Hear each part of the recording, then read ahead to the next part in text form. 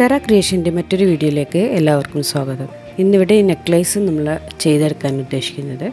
അതിനായിട്ട് ഞാനിവിടെ നെക്ലേസ് എടുത്തിട്ടുണ്ട്. അതിനായിട്ട് ഇവിടെ എടുത്തിട്ടുള്ളത് കോപ്പർ കളറും സിൽവർ കളറുമാണ്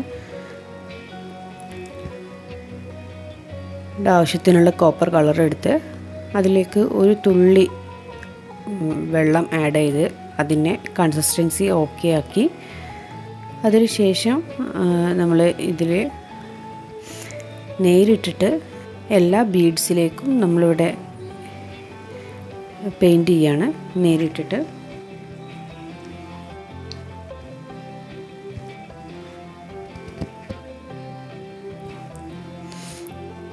ഇതിന് ബേസ് കോട്ടായിട്ട് ബ്ലാക്കോ അങ്ങനെയൊന്നും കൊടുക്കുന്നില്ല. നേരിട്ടിട്ട് നമ്മൾ കോപ്പർ കളറ് അടിക്കുകയാണ്. എല്ലാ സ്ഥലത്തും എത്തിയെന്ന് ഉറപ്പ് വരുത്തണം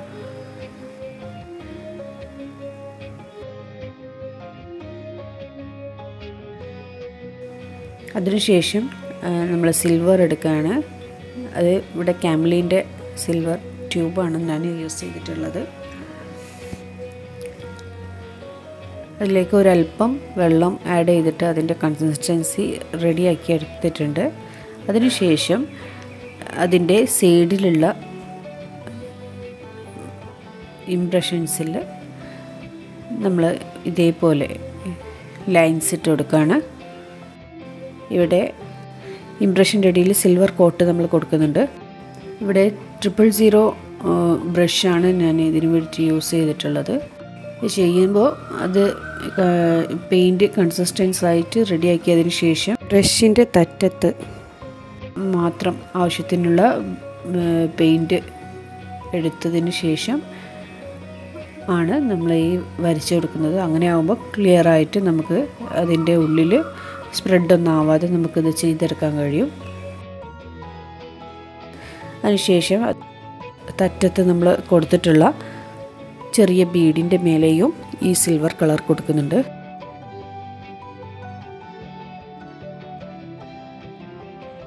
അതിനുശേഷം ഇതിന്റെ എല്ലാ ലൈൻസിലും ബ്ലാക്ക് കൊണ്ട് ഒരു ബോർഡർ വരയ്ക്കുകയാണ്. ബ്ലാക്ക് കൊണ്ട് നമ്മൾ വരച്ചെടുക്കുന്നുണ്ട്. അതിനുശേഷം ഈ സൈഡിൽ കാണുന്ന സിൽവറിന്റെ ഓരോ സിൽവർ ഡിസൈന്റെ ഇടയിൽ കാണുന്ന അതിന്റെ ലൈൻസും ക്ലിയർ ആക്കി എടുക്കുന്നതിന് വേണ്ടിയിട്ട് ബ്ലാക്ക് കൊടുക്കുകയാണ് ചെയ്യുന്നത്. ഇത് ആദ്യം ബ്ലാക്ക് കൊടുക്കാമെന്ന് എന്തുകൊണ്ടെന്ന് വെച്ചാൽ ഈ ബ്ലാക്ക് കളർ ആദ്യം കൊടുക്കുമ്പോൾ കോപ്പറിന്റെ അതിന്റെ പെർഫെക്റ്റ് ആയിട്ടുള്ള കളർ നമുക്ക് കിട്ടാതെ വരും. അതുകൊണ്ടാണ് ആദ്യം കോപ്പർ ബ്ലാക്ക് കൊടുക്കാതിരുന്നത്. അതിനുശേഷം ഈ ഈ രീതിയിൽ സ്ക്വയറായിട്ടുള്ള ചെറിയ പീസുകൾ നമ്മൾ എടുക്കുകയാണ്. ഇത് ആദ്യം നമ്മൾ ഉണ്ടാക്കുമ്പോൾ അങ്ങനെയൊന്ന് പ്ലാൻ ചെയ്തിരുന്നില്ല. അതിനുശേഷം വീണ്ടും ചെയ്യണമെന്ന് തോന്നി ഏഡ് ചെയ്തതാണ്. സോ മേക്കിംഗ് വീഡിയോയിൽ ഈ ഒരു ഭാഗം ഉണ്ടായിക്കൊള്ളുന്നില്ല അതിലേക്ക് നമ്മൾ ഗോൾഡൻ കളറാണ് ആഡ് ചെയ്യുന്നത്. ഗോൾഡൻ കളറിന്റെ കൂടെ ഒരല്പം ബ്ലാക്ക് ആഡ് ചെയ്തിട്ട് അതിനെ ആന്റി ഗോൾഡ് കളറ് ആക്കി മാറ്റുന്നുണ്ട്. അതിലേക്കും ഒരു അല്പം ഒരു തുള്ളി വെള്ളം ആഡ് ചെയ്തിട്ട് അതിന്റെ കൺസിസ്റ്റൻസി ഓക്കെ ആക്കി മാറ്റുകയാണ് ചെയ്യുന്നത്.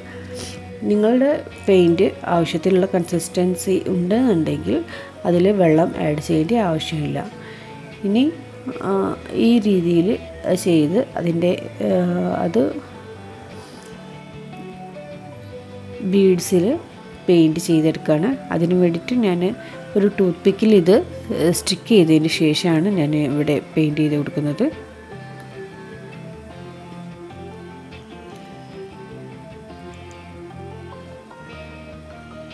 എല്ലാ ഭാഗത്തും നല്ല രീതിയിൽ പെയിന്റ് എത്തി എന്നുള്ളത് ഉറപ്പ്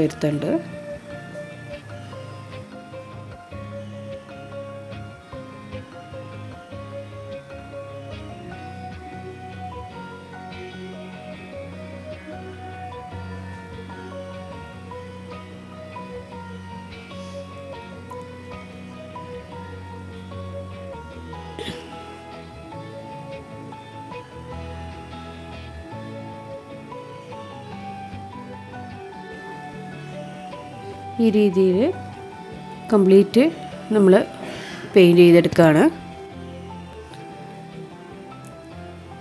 ഈ രീതിയിൽ നമ്മൾ പൂർണമായിട്ടും പെയിന്റ് ചെയ്തെടുക്കുന്നുണ്ട്.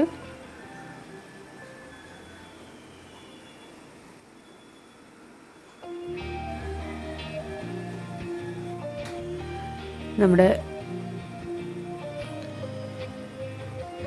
അതിനുശേഷം ഇതിനെ ഓരോന്നിനെയും നമ്മൾ വാർണിഷ് ചെയ്യുന്നതിന് വേണ്ടിയിട്ട് ഇൻഡിവിജ്വലായിട്ടാണ് നമ്മൾ വാർണിഷ് ചെയ്യുന്നത്. അതിന് വേണ്ടിയിട്ട് ഞാൻ വാർണിഷ് ചെയ്യുന്നതിന് വേണ്ടി ലിറ്റിൽ ബേഡിയുടെ വാർണിഷാണ് ഞാനിവിടെ യൂസ് ചെയ്യുന്നത്. ഗ്ലോസ് ആയിട്ടുള്ള വളരെ നല്ല വാർണിഷാണ്. വളരെ എളുപ്പത്തിൽ സ്റ്റിക്കിംഗ് ഒന്നും ഇല്ലാതെ നമുക്ക് വാർണിഷ് ചെയ്ത് എടുക്കാൻ കഴിയും. ഡയറക്റ്റായിട്ട് നിങ്ങൾക്ക് നേരിട്ടിട്ട് അത് അടിക്കാവുന്നതാണ്. അല്ല ഒരു അല്പം വെള്ളം ആഡ് ചെയ്തിട്ട് ചെയ്യണമെന്നുണ്ടെങ്കിൽ അങ്ങനെയും ചെയ്യാം. പ്രശ്നമൊന്നുമില്ല. ഇവിടെ അങ്ങനെ എല്ലാത്തിന്റെയും മേലെ നമ്മൾ ഇവിടെ വാർണിഷ് അടിച്ചെടുക്കുന്നുണ്ട്. അതും ഞാനൊരു സ്റ്റിക്കിന്റെ മേലെ ഇതിനെ കുത്തിയതിന്റെ ശേഷമാണ് ഞാൻ ചെയ്യുന്നത്. നമ്മുടെ കൈയിന്റെ വിരളടിയാളം ഇതിന്റെ മേലെ പതിയേണ്ട എന്ന് വിചാരിച്ചാണ് നമ്മൾ ആ രീതിയിൽ പെയിന്റ് ചെയ്തെടുക്ക വാർണിഷ് ചെയ്തെടുക്കുന്നത്. ഏതൊരു പ്രൊഡക്റ്റിന്റെയും ആദ്യം വാർണിഷ് ചെയ്ത് ഇൻഡിവിജ്വലായിട്ട് വാർണിഷ് ചെയ്തതിന് ശേഷം അത് ഉണങ്ങി എന്ന് ഉറപ്പുവരുത്തിയതിന് ശേഷം മാത്രം പെയിന്റ് ചെയ്യാൻ ശ്രദ്ധിക്കാം. പല എന്റെ എല്ലാ വീഡിയോസിലും ഞാൻ ആദ്യം വാർണിഷ് ചെയ്യാറുണ്ട്. പക്ഷേ പലപ്പോഴും പല വീഡിയോസിലും അത് മിസ്സായി പോവാറുണ്ട് എന്നുള്ളതും സത്യം തന്നെ. എന്നിട്ട് നമുക്കിവിടെ അസംബിൾ ചെയ്യാനെടുക്കാം. ആദ്യം ഒരു ബാക്ക് റോപ്പ് എടുത്ത് അതിനെ ഗിയർ വയറുമായിട്ട് കണക്ട് ചെയ്തതിന് ശേഷം അതിലേക്ക് ഓരോരോ ബീഡ്സായിട്ട് ആഡ് ചെയ്യും. അതിന്റെ ഇടയിൽ നമ്മൾ ചെറിയ മുത്ത് ഇട്ട് കൊടുക്കുന്നുണ്ട്. ഈ രീതിയിൽ ലാസ്റ്റ് അവസാനം ഗിയർ വയറുമായിട്ട് നമ്മൾ കണക്ട് ചെയ്തെടുക്കുന്നുണ്ട്. അത് ലോക്ക് ചെയ്തതിന് ശേഷം ഒന്നോ രണ്ടോ ബീഡ്സിന്റെ ഉള്ളിലൂടെ പുറത്തേക്ക് എടുത്തതിന് ശേഷം മാത്രം ലോക്ക് ബാക്കി വരുന്ന വയർ കട്ട് ചെയ്തെടുക്കുകയാണ് ചെയ്യുന്നത്. ഈ രീതിയിൽ നമ്മൾ നെക്ലേസ് ഇവിടെ റെഡി ആയിട്ടുണ്ട്. നിങ്ങൾക്ക് ഇഷ്ടപ്പെട്ട് കാണുമെന്ന് വിചാരിക്കാം. എന്നാലും മറ്റൊരു വീഡിയോ കാണാം. ബൈ.